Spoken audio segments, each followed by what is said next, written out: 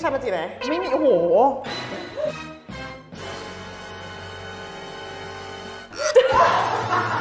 หน้านี้ แล้วจริงๆเราพี่อ้อมคนเจ้าชู้ไหมไม่นะ โอ้ไม่ไม่นะ หล่อนเพิ่งเจอฉันเมื่อเช้าหล่อนจะรู้จักอะไรฉัน รายการนี้ไม่เหมาะสำหรับผู้ที่ชอบตัดสินคนจากเพศสภาพ หรือลักษณะภายนอก คนที่ไม่สามารถเปิดใจยอมรับความเท่าเทียมกันของมนุษย์ และมุมมองเรื่องเพศแบบใหม่ๆ กดข้ามไปได้เลย เด็กอายุต่ำกว่า 18 ปีควรได้รับคำแนะนำในการรับชม สวัสดีค่ะ กลับมากับทอมวินเ e ตตี้นะคะ วันนี้แขกรับเชิญของเราเป็นทอมที่ถือว่าเป็นโปรดิวเซอร์รายการออนไลน์ชื่อดังในประเทศไทยหลายรายการมากๆต้อนรับพี่อ้อมค่ะสวัสดีค่ะ เวลาแนะนำอะอย่าอย่าพูดเยอะ มันอายแล้วมันคนอายเหรอ คนรอดูแล้วแบบ เออ เราอยู่เบื้องหลังไงพี่ ก็พยายามออกมาแล้ว แต่เออคนไม่โฟกัสแต่เออคนไม่โฟกัสอ๋อเหรอเออเพราะว่าหน้าเหี้ยก็ชื่ออ้อมนะคะ ก็มีอาชีพเป็นโปรดิวเซอร์รายการต่างๆนิสามณีฮิวหวี โอลันลามิวกี้ปยาอืมอะไรประมาณนั้นเทือกๆนั้น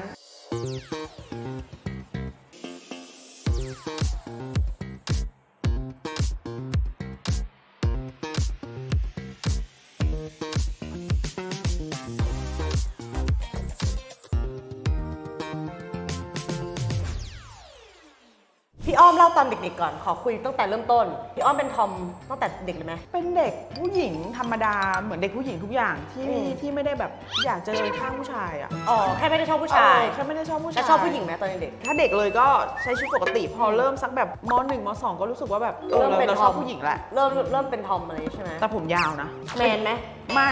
แรดเหรอ ผมยาวก็ไม่แรดก็ไม่ได้แรดเดี๋ยวก็ทรงนี้แต่ก็ช่วงนี้ เออแต่ก็ไม่ได้แรดแล้วก็เรียนสหะ ตลอด ไม่เคยมีแฟนผู้ชายเลย ไม่เคยเลย ไม่เคยแอบชอบผู้ชายเลย ไม่เคย มีผู้ชายมาจีบไหมจับตรวจภายในก็ไม่เคยมีเพศสัมพันธ์กับชายใดแล้วมีผู้ชายมาจีบไหมไม่มีโอ้โห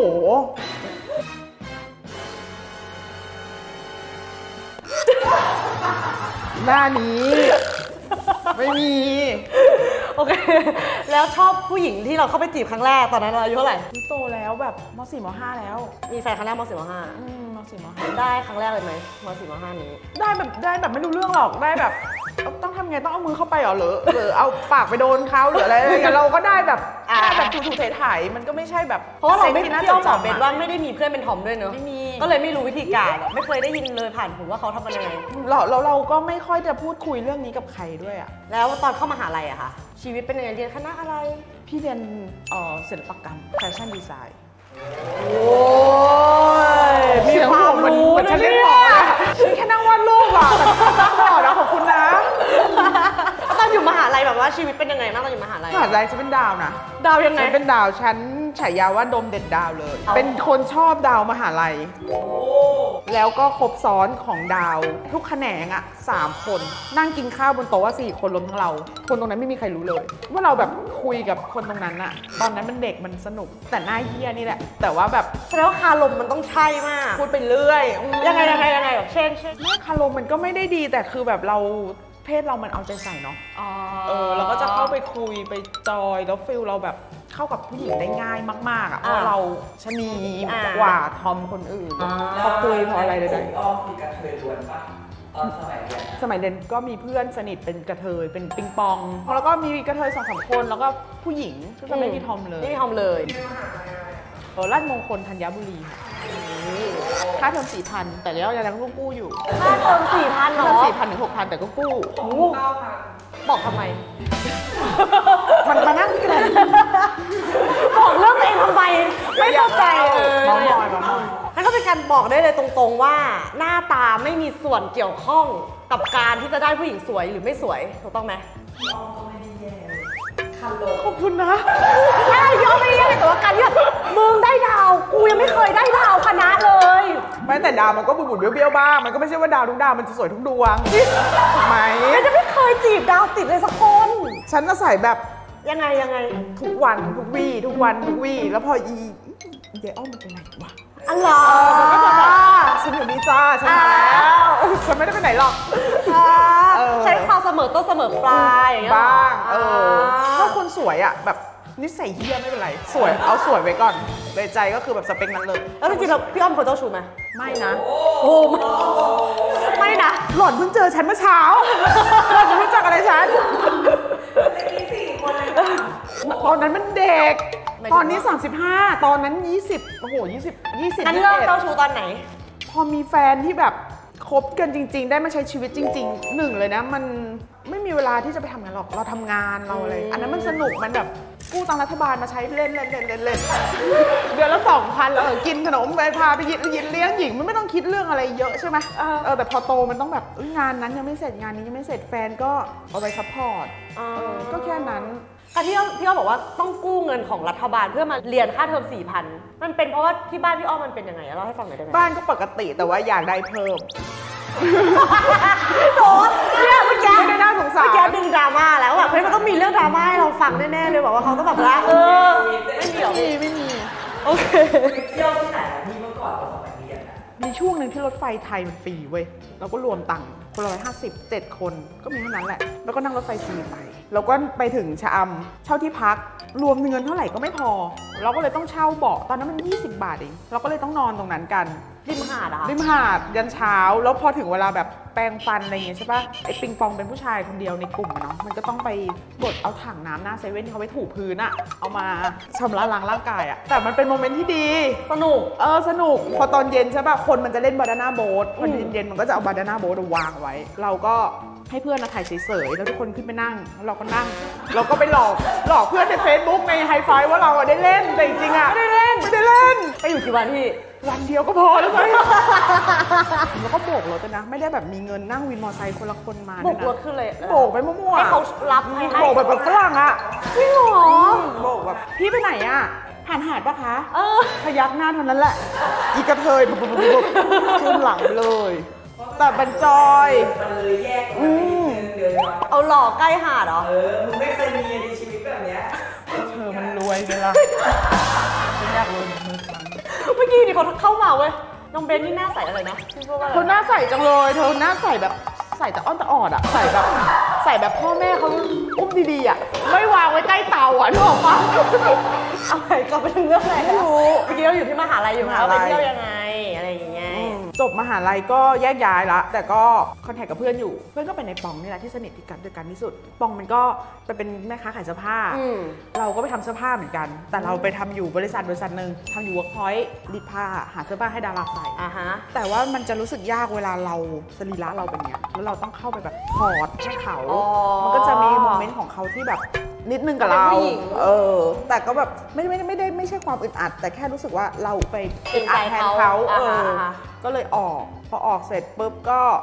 มาทำออนไลน์นี่อยู่ที่มันเริ่มทำออนไลน์ได้ยังไง ก็ถ่ายคลิปเล่น คือถ่ายลง YouTube ไหมไม่ถ่ายเล่น ถ่ายเล่นเก็บเอาไว้ดูกับเพื่อนใน Facebook ตัวเอง ง่ายๆงงๆเพื่อนก็บอกว่าเอ้ยมึงสนุก เออมันสนุกเราทำกัน แต่ปิงปองก็ไปเป็นดาราแล้วตอนนั้น เราเคว้งแล้ว แต่ก็จะมี community หนึ่งชื่อว่า JJ Green สมัยก่อน ก็จะมีกระเทยอะไปรวมดาวกันอยู่ที่นั่น อ่า ใครแต่งตัวสวยๆต้องเดินเฉิดมาตรงนั้นแล้ว เป็นศาลพระภูมิองค์พระตรงนั้นต้องมายิ้มให้ศาลแล้วก็เดินไปแบบ เหมือนทำความเคารพตรงนั้น ฉันก็จะเห็น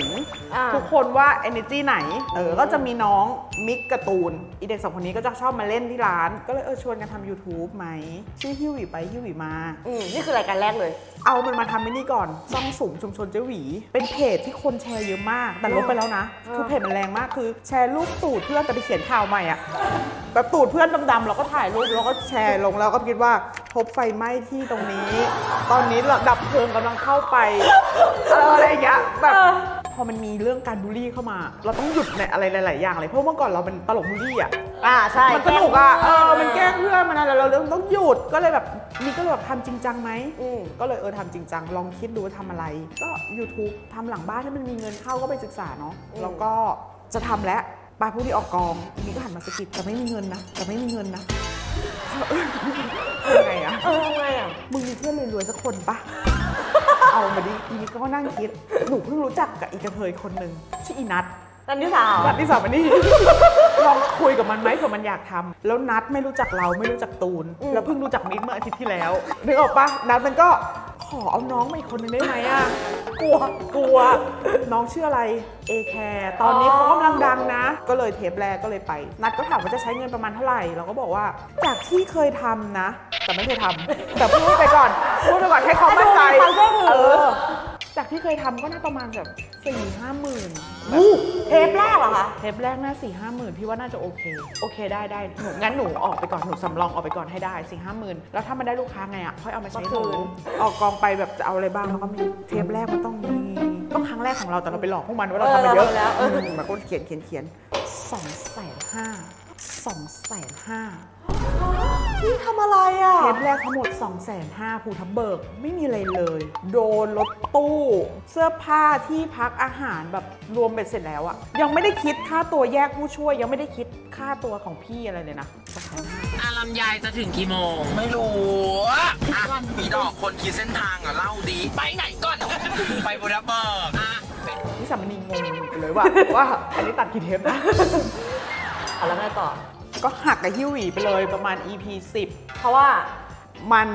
หยุดจ้างเราโดยที่ไม่มีการพูดคุย ทะเลาะกันไปเลย ทะเลาะกันไปประมาณปีหนึ่ง ตอนนั้นก็ไม่คุยกับใครทั้งนั้นไม่ฟังคำอธิบายนั้นเพราะรู้สึกว่ารายการเนี้ยเราเป็นคนเริ่มต้นมา เราเริ่มทุกอย่างทุกอย่างทุกอย่างซับเรายังนั่งแกะเองเรายังไม่เก่งในเรื่องเนี้ยตอนนั้นเราทำซับเหนื่อย เองเหรอ เออไม่มีตังค์ใช้ตังค์เขาไปหมดแล้ว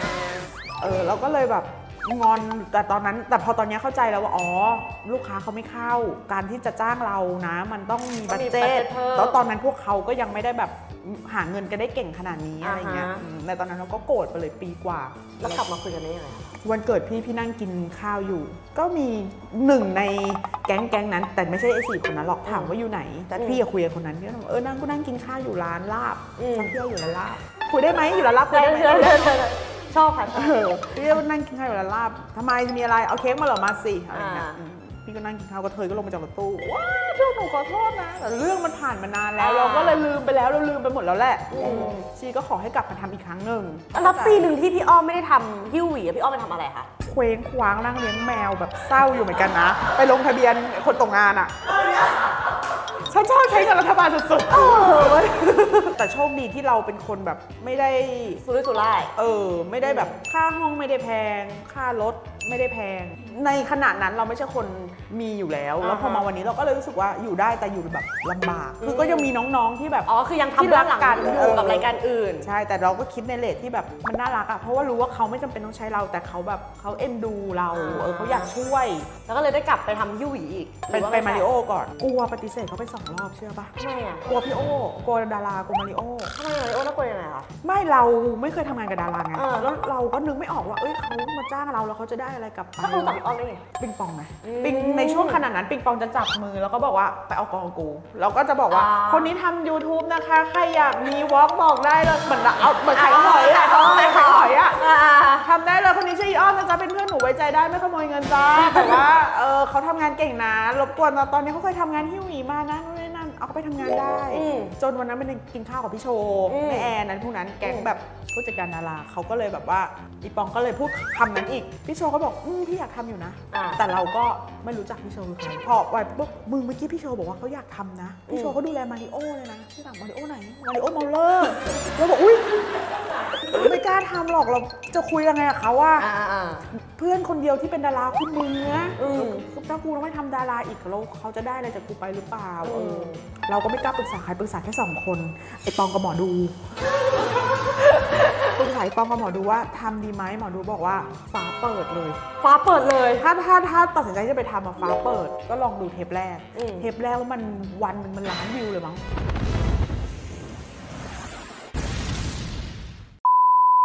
แล้วพอเข้าไปจับมันล้านวิวเราก็เลยแบบพึกเหิมไงเราก็เลยรู้สึกว่าเออเราทำได้ ก็มั่นเลย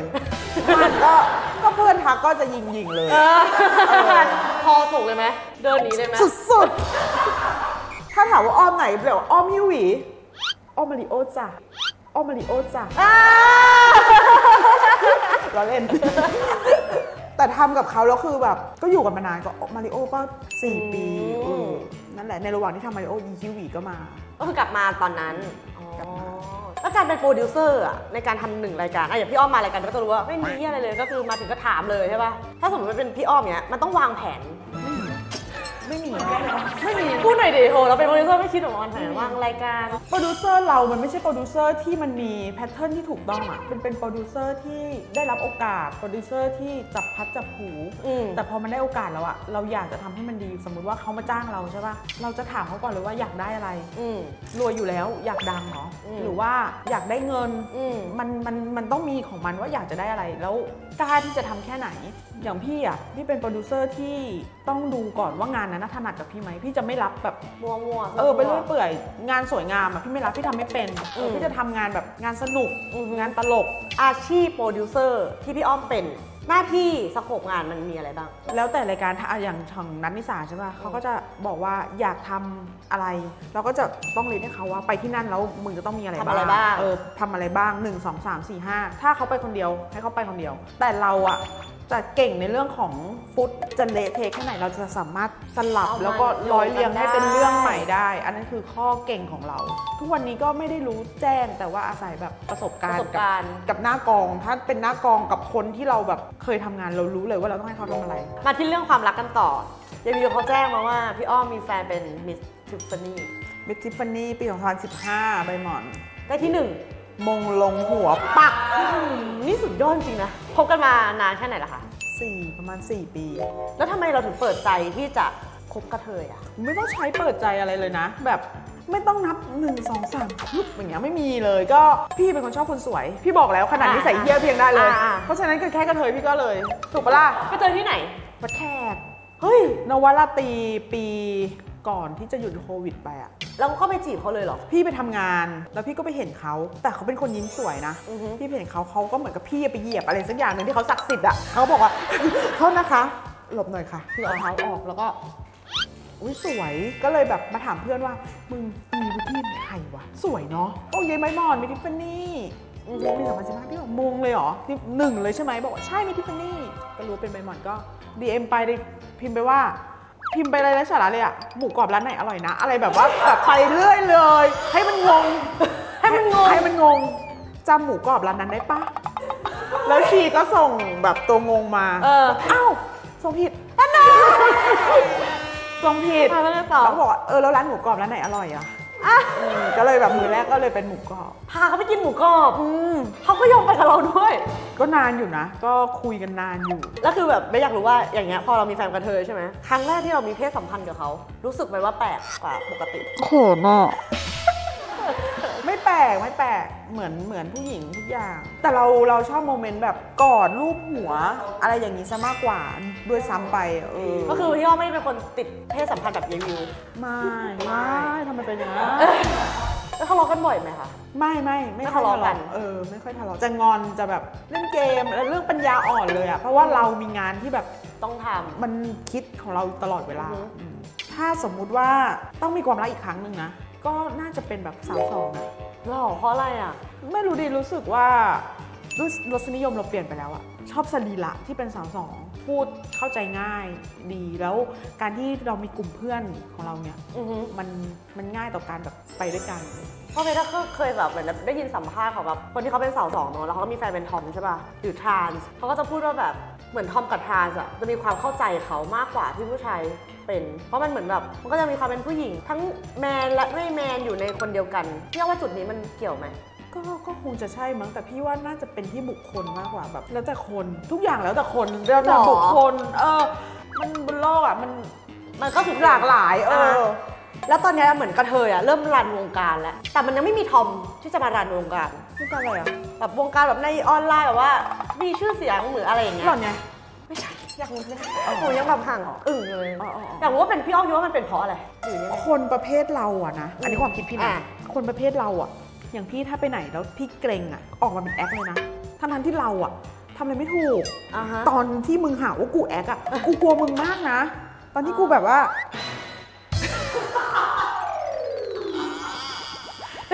กูกลัวนะ ใจคือทำตัวไม่ถูก เออ คือทำตัวไม่ถูก แล้วพอพอมันเป็นคนที่แบบคนแอคอะอือฮึมันดูไม่น่ารักหรือเปล่าอืมไม่รู้ไง หรือว่าทอมมันยังหาหาจุดไม่ได้ว่าจะแบบคุยเรื่องอะไรอืมอะไรอย่างงี้ปะแต่การทำงานที่ผ่านมา ก็คือไม่ได้เจอคนแบบว่าบูลลี่หรือดูถูกเราแบบโดยตรงมีในเว็บบ้างในเว็บแบบเวลาเราคืออะไรอะโผล่แบบใน YouTube อะไรเงี้ยเวลาเราโผล่แวบไปแป๊บหนึ่งเขาก็จะแบบแคปไปลงว่าแบบอีทอมคนนี้แหละที่อยู่เบื้องหลังความสกปรกของอีพวกฮิวหมีเจ้านาม่าเออเหรอเออฉันก็เลยพิมพ์ไปเลยว่า พวกมันเฮียเองโดยสันดานจ้าไม่เกี่ยวกับฉันก็จบคือเอาเอาจริงๆตอนที่พี่อ้อมเห็นตอนนั้นรู้สึกไหมรู้สึกหรอแบบแบบอุ้ยทำอะไรผิดอะทำไมต้องมาด่าแรงแล้วเราไม่ใช่แบบอินฟูหรือใครแบบเราเราเข้าใจเลยนะว่าคนที่โดนด่าแบบเยดอะๆราม่าเอออืมมันมันตายได้เลยอะอืมขนาดเราโดนแค่แบบ2อสามคนด่าเรายังรู้สึกแบบ เฮ้ยทำไมอะเข้าคุณใจ ทำไมให้อะงั้นโอเค สุดท้ายแล้ว ให้พี่อ้อมฝากถึงคนที่เขาชอบบูลลี่คนอื่นดีกว่า พี่พี่เอาจริงปะถ้าถามงานรายการบูลลี่ อ่าฉันคือคนแรกที่ได้ออกรายการนี้ ได้ออกรายการนี้ตัวเต็งให้ฝากถึงคนที่ชอบบูลลี่คนอื่นด้วย บูลลี่ได้แต่ว่าลับลับอ่าๆบุเราเหมือนเลิกบูลลี่ไม่ได้ อ่า เราบูลลี่กันมาตั้งแต่เกิดเป็นเด็ก นั่งล้อมวงกันเนี่ย ถ้าคิดว่าฉันเป็นรถเธอจะคิดว่าฉันเป็นรถอะไรเฟอร์รารี่อะไม่เป็นไรฉันล่ะตุ๊กตุ๊กอ่าวงบูลลี่กูคือนิดหน่อยมันเป็นบูลลี่ไปหมดเลยอะเดี๋ยวอ่าเดี๋ยวนี้มันแตะไม่ได้เลยอ่าฮะ เดี๋ยวนี้ทำรายการต้องระแวงมาก สรุปไม่ฝากอะไรด้วย ข้อคิดไหมข้อคิด อะข้อคิด ข้อฉัคินดเป็นคนไม่มีความคิด แต่ว่าถ้าฝากเขาคิดก็ ฝากเรื่องอะไรเราคุยเรื่องอะไรกันนะฝากอะไร ความเป็น LGBT ความแบบว่านู่นนี่นั่น เรื่องไอวิวน่าคุยกับฉันอีกตอนเนี้ย พี่ก็โดดเด่นเลยนี่เรื่องใช้ของรัฐบาลเนี่ยเอออะฝากข้อคิดอืมก็ถ้าสำหรับคนที่ไม่ว่าเราจะจนหรือจะรวยนะคะ ภาษีเราจ่ายแล้ว อะไรที่เป็นสิ่งของเราเราเอามาใช้ค่ะฝากอย่างนี้จริงเหรอ สำหรับวันนี้รายการ Home Beauty ก็จบลงแล้ว หวังว่าจะเป็นประโยชน์ไหมนะ สำหรับคนดูนะคะ สวัสดีค่ะมันเป็นประโยชน์อยู่แล้ว ฉันไม่ไปออกรายการบ่อยๆนะ อ่า